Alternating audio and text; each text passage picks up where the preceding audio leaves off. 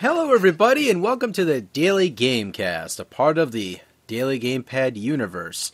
And myself, my name is Danny. Along with me tonight is going to be Bill.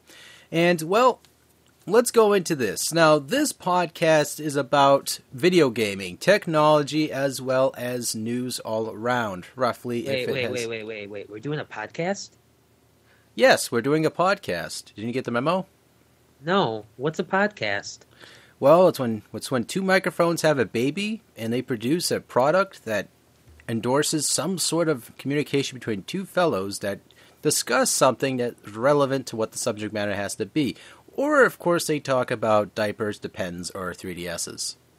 So basically, it's like going to a bar without the beer. Yes, no cheap fun. Oh, Whatever. I got nothing to do tonight. Let's go. Well, apparently I ruined his night after explaining the metaphors of what bartending is all about. Fourth wall? Too soon? Uh, but anyway, today's subject.